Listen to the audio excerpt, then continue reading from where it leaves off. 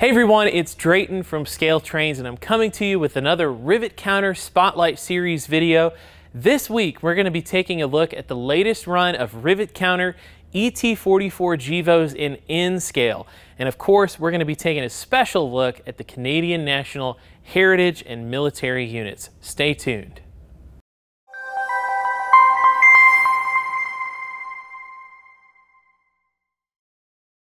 So back in November of 2020, it was right during the middle of the COVID-19 pandemic, and there was so much uncertainty going on in the North American railroad scene. But that month, there was a real bright spot when Canadian National unveiled five specially painted heritage units wearing predecessor paint schemes with iconic road names like EJ&E, Illinois Central, Wisconsin Central, BC Rail, and even Grand Trunk.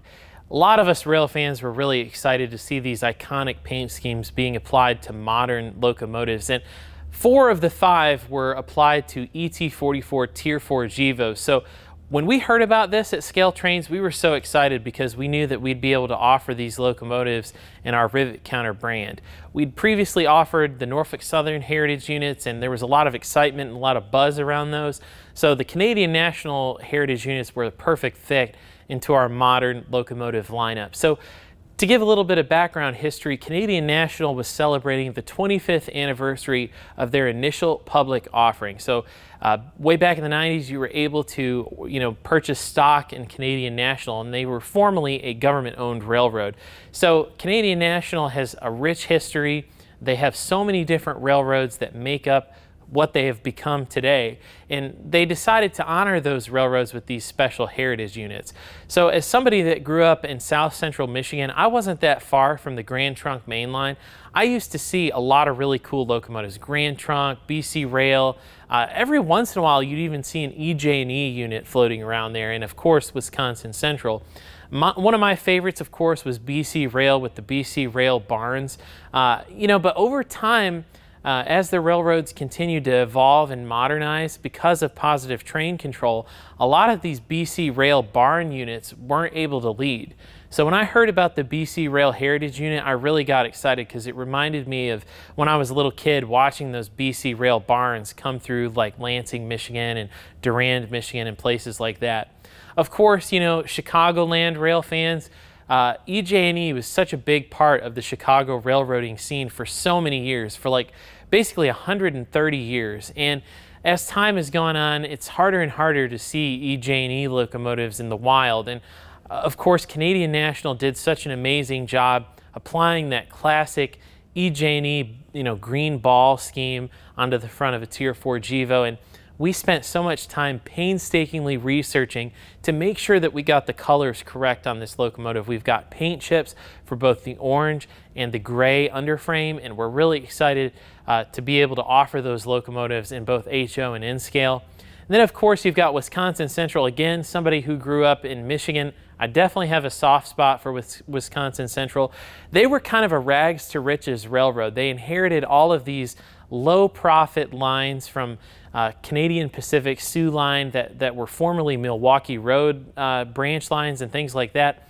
And they basically went from this, this railroad that had all of these older locomotives that were just falling apart, a lot of these lines that were not in the best shape. And over the years, they evolved into becoming one of the most profitable regional railroads in the United States. And that's why CN eventually ended up acquiring them. You know, and I remember as recently as six or seven years ago, seeing a Wisconsin Central locomotive on a weed sprayer train in south central Michigan, which was so cool. But now, since it's like the only one left, having this heritage unit floating around really brings back a lot of great memories for me. Of course, if you're an Illinois Central fan, uh, it was probably kind of mind blowing to see the IC Death Star scheme applied to a GE locomotive. As many of you know, Illinois Central was a staunch EMD railroad. They very rarely ventured outside of EMD products.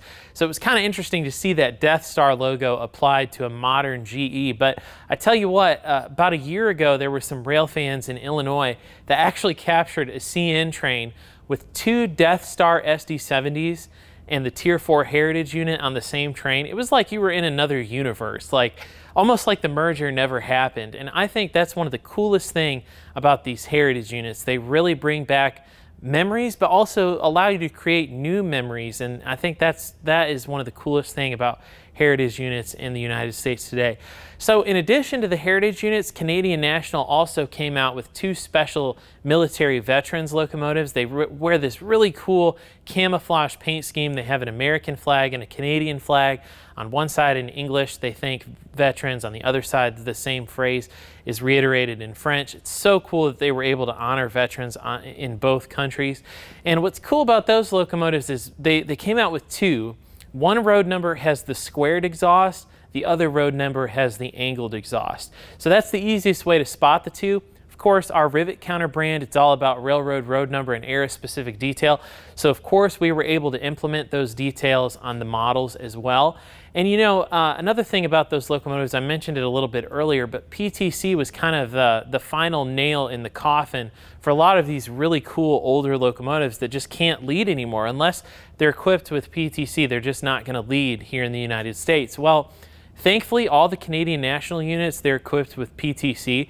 So if you're a North American modeler, especially here in the United States, those Canadian National units can lead pretty much any train on your railroad, unless it's like a local. But hey, you can always be uh, a, a, little, uh, throw the rail fans a little bit of a bone uh, on, on a local with a heritage unit, because that's always pretty exciting. Um, of course, you know, we've got uh, LED lighting features, we've got front and rear ditch lights, lit number boards, course, directional headlights. And, uh, you know, these locomotives come equipped with the Loksound 5 Next 18 micro decoder. So, of course, you've got that high quality sound that we were able to get from testing the Tier 4 locomotive at, at Erie, Pennsylvania. We were really thankful for GE for giving us that opportunity to do that all those years ago. So we're really excited about these locomotives. You can order these locomotives now at scaletrains.com or find a select retailer. So thanks for tuning in and make sure you're subscribed if you haven't done so already. Smash that like button and we'll see you next time in the next Scale Trains Rivet Counter Spotlight video.